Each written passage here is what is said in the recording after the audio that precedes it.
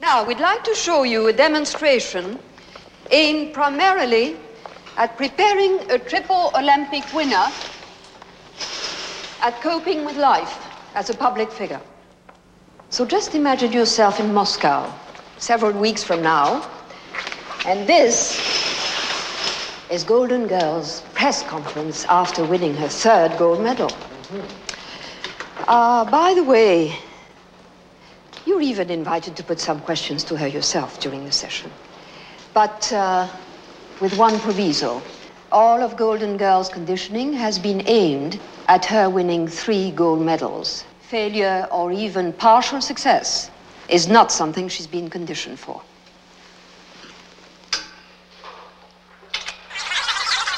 Ladies and gentlemen, triple Olympic champion Miss Goldine Serafin is here with her father, Dr. William Serafin, to meet the press.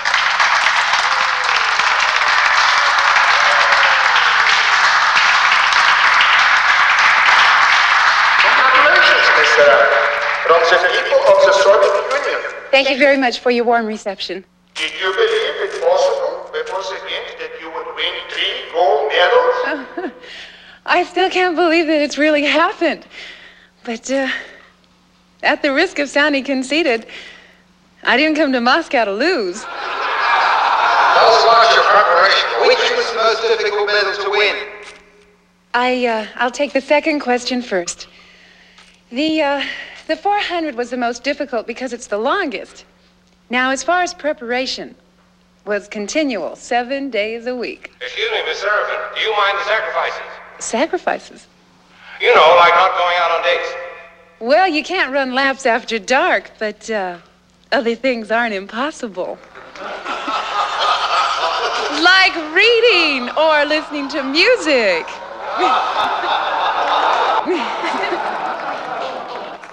What about the future, Goldie? Will you continue running or will you take advantage of the commercial opportunities open to you? Well, are those things mutually exclusive? I mean, uh, I know I'd like to keep running for sure.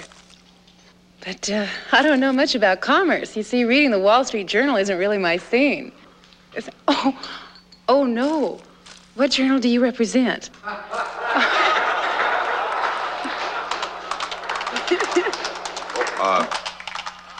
There's a story that you uh, trained in the mountains somewhere. Uh, do you credit your success in the Olympic Games to uh, running at high altitude? No, no, not at all.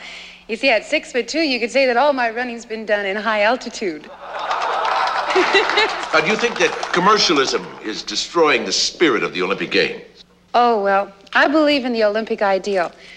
That the important thing is the taking part of, not the winning. Yes, but uh, winning gold medals means a lot of money.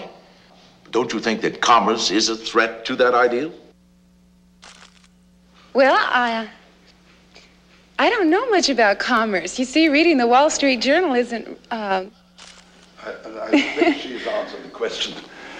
Uh, Goldine doesn't understand anything of this. But uh, thank you for the question, Mr. Dryden. Do, do we have another one? Uh, what are your plans for this evening, Golden Girl? this evening.